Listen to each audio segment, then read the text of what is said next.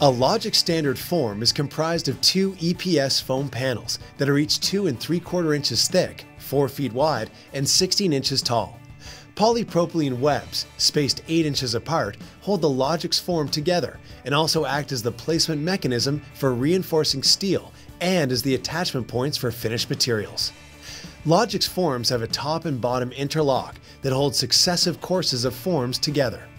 Cut lines, spaced a convenient nominal inch apart, allow cuts to be easily made that allow the interlock mechanism to function. Cutting anywhere but along a cut line will create a stacked vertical joint. A variety of Logix product lines are offered. Logix Pro is our flagship product line. Logix Pro form units are fully assembled and feature rugged, expanded polystyrene foam panels. Logix Pro is built for speed of assembly and offers a typical wall assembly R value of R25.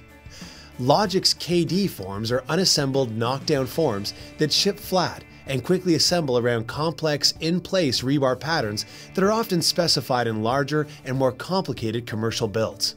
Logix Platinum Series features silver gray foam panels that are made with Neopor graphite polystyrene by BASF to provide additional thermal performance. Logix Platinum Series offers an enhanced typical wall assembly R value of R28.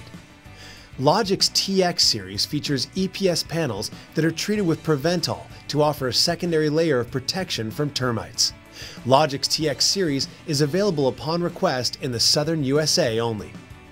All Logix product lines come in a wide range of core widths from 4 to 12 inches to accommodate almost any construction application.